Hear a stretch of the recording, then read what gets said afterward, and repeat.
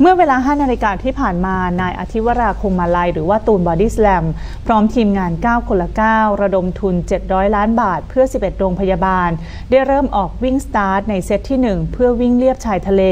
จากบ้านหว้าโทนตำบลคลองวานอำเภอเมือง ผ่านถนนเลียบทางรถไฟสายประจวบหว้ากอระยะทาง 13 กิโลเมตร โดยตูนหน้าตาแจ่มใสนะคะ หลังจากที่เมื่อวานนี้ทำสถิติวิ่ง 5 เซตรวด หรือระยะทาง 64 กิโลเมตร โดยสภาพอากาศช่วงเช้าปลอดโปร่งเย็นสบาย มุ่งหน้าเข้ากองบิน 5 เพื่อจบเซตที่ 1 เวลา 6 นาฬิกา จากเส้นทางประตูคลองวาน ผ่านอ่าวมะนาว เพื่อสักการะเจ้าพ่อเขาล้อมหมวก และร่วมพิธีรับมอบเงินสนับสนุนบริจาคจากกองบิน 5 สโมสรฟุตบอลประจวบ FC และสมาคมกีฬาจังหวัด ณบริเวณอนุสาวรีย์วีรชน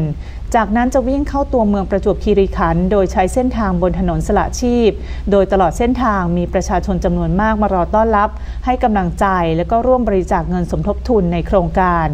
ซึ่งเป้าหมายของการวิ่งในวันนี้นะคะจะวิ่งทั้งหมด 5 เซตค่ะ โดยจะไปสิ้นสุดเซตที่ 5 ที่จุดเช็คพอยต์สถานีบริการน้ำมัน ห้างหุ้นส่วนจำกัดรุ่งอรุณนำโชคบริการอำเภอ 300 ยอดเวลา 20 นาฬิกาครับนับเฉพาะระยะเวลาในการวิ่งนะครับ 22 วันก็รวมแล้ว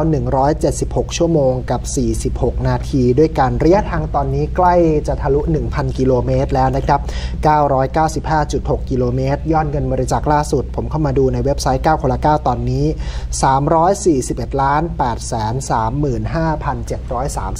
734 บาทครับ